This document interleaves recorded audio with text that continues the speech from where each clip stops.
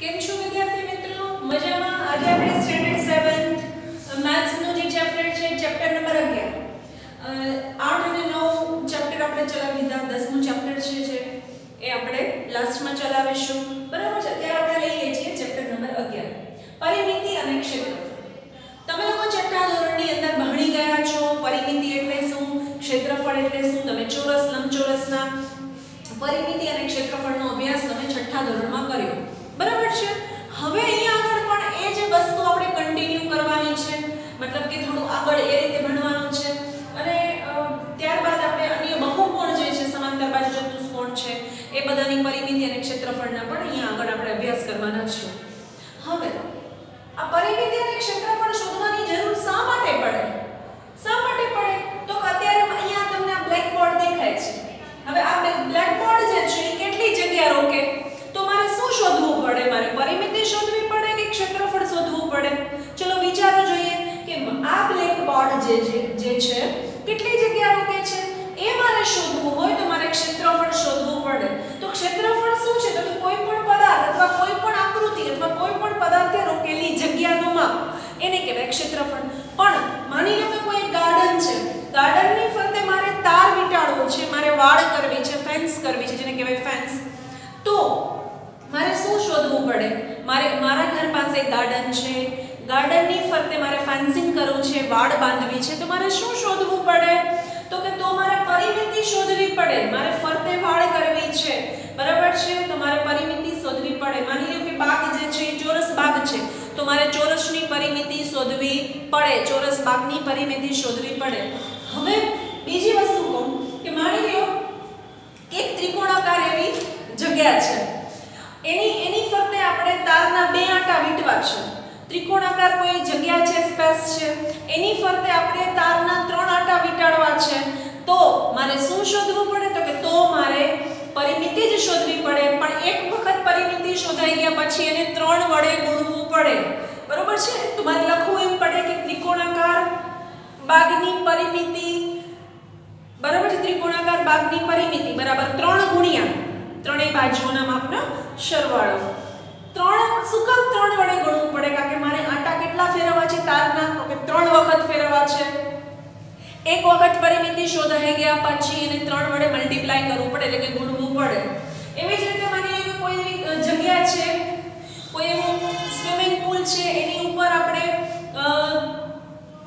પ્લાસ્ટિકની સીટ અથવા તાડપત્રી ઢાંકવી હોય, તાડપત્રી ઢાંકવી હોય, તો શું શોધવું પડે? તો કે તો અમારે ક્ષેત્રફળ શોધવું પડે. બરાબર છે? માની લો કે લંબચોરસ કોઈ કુંડ છે, લંબચોરસ કુંડની ઉપર મારે તાલપત્રી ઢાંકવી છે, તો મારે એનું ક્ષેત્રફળ શોધવું પડે. તો આ માટે અલગ અલગ જ્યારે આવી રોજિંદા જીવનની અંદર આવી એવી વસ્તુઓ જ્યારે સામે આવતી હોય ત્યારે આપણે પરિમિતિ અને ક્ષેત્રફળ શોધવાની જરૂર પડતી હોય છે. હવે પરિમિતિ શું છે? તો પરિમિતિની આપણે વ્યાખ્યા લઈએ તો બંધ આકૃતિની બધી જ બાજુઓના માપનો સરવાળો, એટલે એ આકૃતિની પરિમિતિ. હવે જો અહીંયા આગળ બંધ આકૃતિ. હવે તમે લોકો છઠ્ઠા ધોરણની અંદર ભણી ગયા બહુકોણ. અધરવાઇઝ નથી ભણ્યા તો આ બહુકોણ શબ્દ તમારા માટે નવો છે. તો બંધ આકૃતિ વડે બનતી જે રચના છે, અથવા તો રેખાખંડોથી બનતી જે બંધ આકૃતિ છે રિપીટ અગેન રેખાખંડોથી, રેખાખંડથી અથવા તો રેખાખંડોથી બનતી બંધ આકૃતિ છે, એને કહેવાય બહુકોણ સૌથી નાનામાં નાનો બહુકોણ છે? એ ત્રિકોણ છે. ત્રિકોણને ત્રણ બાજુ હોય. સૌથી નાનામાં નાનો બહુકોણ કે ત્રણ રેખાખંડથી બનતી રચના, બે રેખાખંડથી ક્યારેય બંધ આકૃતિ બની શકે નહીં. તમે અહીંયા જુઓ બે રેખાખંડથી બંધ આકૃતિ બને તો કે ના ન બને. ઓછામાં ઓછી બંધ આકૃતિ બન- બનવા માટે બહુકોણ બનવા માટે સૌથી નાનો બહુકોણ નિયમિત બહુકોણ જેને કહી શકાય ત્રિકોણ છે. બરોબર છે? ત્રણ બાજુઓ. પછી આવે ચોરસ લંબચોરસ બરાબર છે? પછી પંચકોણ, ષટકોણ, ષષ્ઠકોણ, અષ્ટકોણ, નવકોણ અપ ટુ ઇન્ફિનિટિવ કોણ એન કોણ સુધી આવે, એ તમારા આઠમા ધોરણમાં આવશે. અત્યારે ખાલી તમારે ચોરસ, લંબચોરસ વિશેની વાતો છે. સમાંતર બાજુ ચતુષ્કોણ એનું જ ભણવાનું છે. બાકીનું બધું આપણે આઠમા ધોરણમાં અભ્યાસ કરીશું.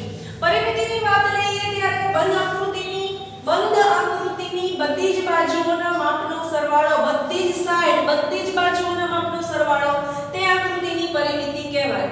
હવે આપણે જ્યારે ચોરસની પરિમિતિની વાત કરતા હોઈએ, તો ચોરસને કેટલી બાજુઓ હોય? ચાર. પછી આપણે એ ખબર છે કે ચોરસની બધી જ બાજુઓ કેવી હોય તો કે સરખી હોય. ચોરસની ચારે બાજુ કેવી હોય? સરખી હોય. તો બીજી રીતે એમ પણ કહી શકું કે ચારે બાજુઓના માપનો સરવાળો, અથવા તો આ સૂત્ર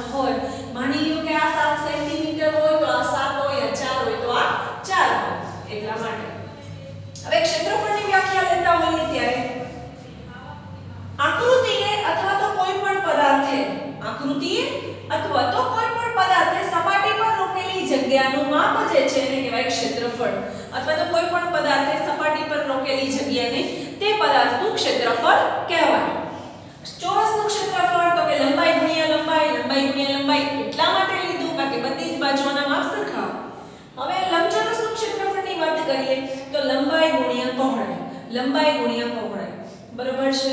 હવે ક્ષેત્રફળ જે છે આ માની લો કે ચોરસ છે ક્ષેત્રફળ છે ને આ માપ સૂચવે છે જો અમે ડોટ આ બધી લાઈન કરી ને આ માપ અંદર કેટલી જગ્યા રહી પરિમિતિની વાત કરીએ ને તો કઈ આવે જો તમને એ બતાવું પરિમિતિની વાત કરીએ તો બહારની સાઈડ જ આવે બધી જો આ બધ- આ આ પરિમિતિ આ સફેદ ચોક બરાબર બહારની સાઈડની જ વાત આવે ક્ષેત્રફળ તો કે અંદરનું માપ બરાબર છે તો ચોરસનું ક્ષેત્રફળ તો કે લંબાઈ ગુણ્યા લંબાઈ લંબચોરસનું ક્ષેત્રફળ તો કે લંબાઈ ગુણ્યા પહોળાઈ લંબાઈ ગુણ્યા પહોળાઈ હવે જો શું કામ લંબાઈ ગુણ્યા પહોળાઈ કારણ કે આપણે ખબર છે સામસામેની બાજુઓના માપ કેવા હોય સરખા હોય એટલે લંબાઈ ગુણ્યા પહોળાઈ નિયમિત બહુકોણ જો બહુકોણ શબ્દ તમારા માટે નવો છે વ્યાખ્યા સમજાવું? રેખાખંડોથી બનતી બંધાકૃતિને બહુકોણ કહેવાય. નિયમિત બહુકોણની વાત કરીએ તો નિયમિત બહુકોણ એ છે કે જેની બધી જ બાજુઓના માપ કેવા હોય? સરખા હોય. નિયમિત બહુકોણની બધી બાજુઓના માપ સરખા હોય તો ત્રિકોણમાં આવે સમબાજુ ત્રિકોણ, ચોરસ, પછી પંચકોણ, ષટકોણ. ષટકોણ હોય તો ષટકોણમાં પણ બધી જ બાજુઓના માપ સરખા હોય. તો નિયમિત બહુકોણની જ્યારે વાત કરતા હોય ત્યારે એનું સૂત્ર આવશે નિયમિત બહુકોણની પરિમિતિનું બાજુની લંબાઈ ગુણ્યા બાજુઓની સંખ્યા બાજુઓની લંબાઈ ગુણ્યા બાજુઓની સંખ્યા.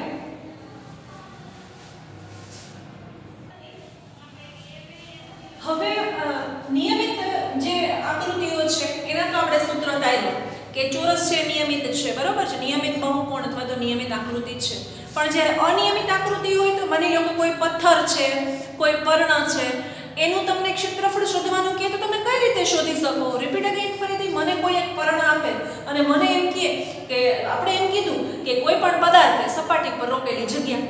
તો હવે પર્ણ છે, માની લો આની ઉપર રાખો તો કેટલી જગ્યા રોકે છે? એનું ક્ષેત્રફળ કેટલું છે? આ ટેબલ ઉપર મેં પર્ણ રાખ્યું. હવે એ કેટલી જગ્યા રોકે છે? એનું ક્ષેત્રફળ શોધવું હોય મારે શું કરવું પડે? લ્યો, હાલો, હવે તો નિયમિત નથી, અનિયમિત આકૃતિ છે. તો પર્ણને આપણે ગ્રાફ પેપર ગ્રાફ પેપરમાં ઓરસ ચોરસ ચાર મતલબ ચોરસ બોક્સ આવતા હોય છે. તમે ગ્રાફ પેપર બધાએ જોયા છે. તમે લોકો ભણી પણ ગયા છો. તો ગ્રાફ પેપર ઉપર પર્ણને લઈ પેન્સિલથી કિનારીથી પર્ણને રાખી અને પેન્સિલથી કિનારી વડે આપણે એને ડ્રો કરી લીધું. પછી પર્ણને ઉઠાવીને એક સાઈડ મૂકી દીધું. હવે એ આકૃતિ મેં ડ્રો કરી છે. જો બરાબર છે આ પર્ણની આકૃતિના વચ્ચે વચ્ચે જે ચોરસ ખાના દેખાય છે ગ્રાફના છે. અત્યારે મારી પાસે ગ્રાફ પેપર નથી. પણ આપણે જ્યારે ઝૂમ લેક્ચર આવશે ત્યારે આપણે કઈ રીતે હોય એમાં બતાવશું. હવે અહીંયા મેં ડ્રો કર્યું છે પર્ણ હવે મેં હવે એની અંદર આપણે કઈ રીતે ક્ષેત્રફળ શોધી શકીએ? તો કે જો મેં બધા રાઈટ રાઈટ ખાના પડે છે ને આ બધા આખા ખાના છે આને આપણે આખા ગણવાના બરાબર છે આ બધા જે વચ્ચે વચ્ચે રાઈટ પડેલા છે એ આખા ગા- ખાના ગણવાના પછી અડધાથી થોડાક વધારે હોય જો આ ડોટ વાળા જે છે ખાના ડોટ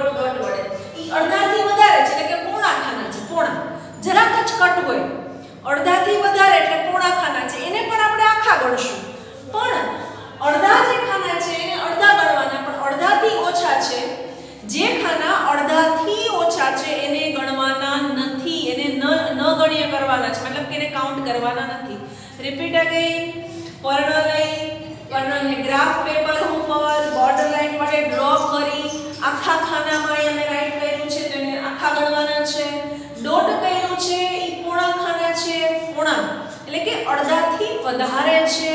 તો એને મારે ગણવાના છે આખા. અડધા જે ખાના છે એને તમારે અડધા જ ગણવા ગણવાના છે. મેં ચોકડી મારી છે. એ બધા અડધા ખાના છે. બરાબર? ચોકડી વાળા જેટલા ખાના અહીંયા બતાવેલા છે. એ ખાના જે છે, એને મારે અડધા ગણવાના છે પણ જે ખાના સાવ નાના છે અડધાથી પણ ઓછા છે એકદમ નાના છે એ ખાનાને કાઉન્ટ કરવાના નથી પછી બધાનો શું કરવાનો છે? તો કે પછી બધાયનો કરવાનો છે સરવાળો. જેટલા ખાના હોય, એનો સરવાળો કરવાનો અડધા હોય તો એ રીતે, આખા હોય તો એ રીતે. બધાનો સરવાળો કરવાથી, બધા ખાનાનો આ રીતે સરવાળો કરવાથી આકૃતિનું ક્ષેત્રફળ મળે છે. બરાબર છે? પણ આકૃતિ કેવી છે? અનિયમિત આકૃતિ છે. એને કોઈ ચોરસ, લંબચોરસ કે ત્રિકોણાકાર નથી અનિયમિત આકૃતિ છે તો અનિયમિત આકૃતિનું ક્ષેત્રફળ આપણે આલેખ પેપર ઉપર શોધી શકીએ. હવે વાત આવી 1 સેન્ટીમીટર બરાબર 100 મિલી સ્ક્વેર. હવે જો પરિમિતિ જે છે, એ સેન્ટીમીટરમાં હોય, પરિમિતિ સેન્ટીમીટરમાં હોય, મીટરમાં હોય, બરાબર છે? પણ ક્ષેત્રફળ જે છે, એ મીટર સ્ક્વેર, સેન્ટીમીટર સ્ક્વેર અથવા તો ચોરસ મીટર પણ એને કહી શકાય. મીટર સ્ક્વેરને તમે ચોરસ મીટર પણ કહી શકો. ચોરસ મીટર એટલા માટે, ઓરસ ચોરસ બધી બાજુઓનું કાઉન્ટ થતું હોય. બરાબર? ઓરસ ચોરસ બધી બાજુઓનું કાઉન્ટ થતું હોય. તો આપણે અહીંયા જોઈએ કે 1 સેન્ટીમીટર સ્ક્વેર બરાબર? તો કે 100 મિલી સ્ક્વેર પણ પહેલા મને ખબર હોવી જોઈએ કે 1 સેન્ટીમીટર બરાબર કેટલા થાય? તો કે 1 સેન્ટીમીટર બરાબર 10 મિમી થાય.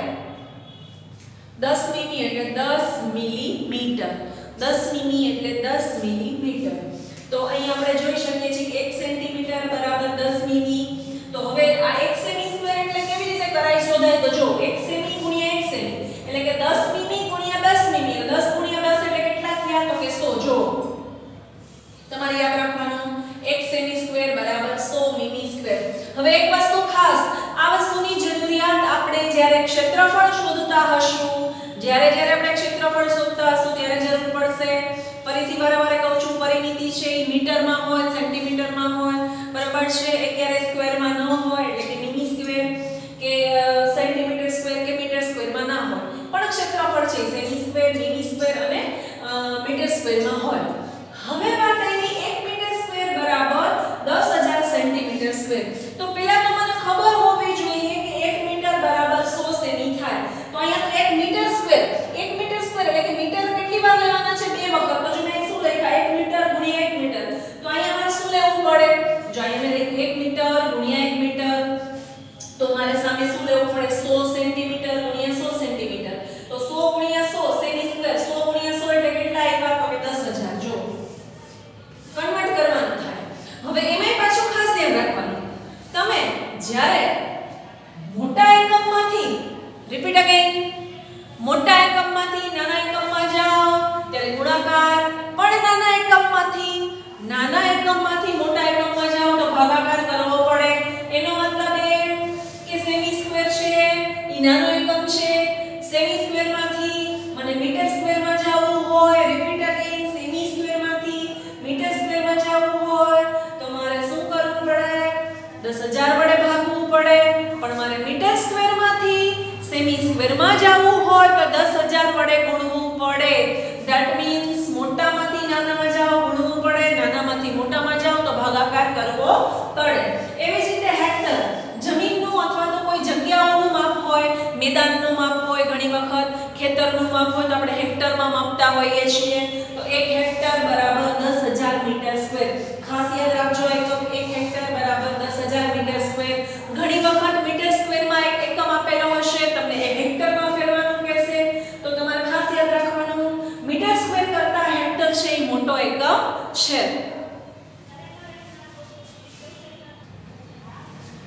ચલો તો આજે આપણે આ ચેપ્ટરમાં થિયરી સમજ્યા નેક્સ્ટ વિડિયોની અંદર ખાસ થિયરી તમારે તમારી CW ની બુકમાં લખી લેવાની છે બરાબર છે નેક્સ્ટ વિડિયોની અંદર તમને લોકોને સ્વાધ્યાય અગિયાર પોઈન્ટ એક આપણે આગળ ચલાવીશું. ચલો, આવજો બધા.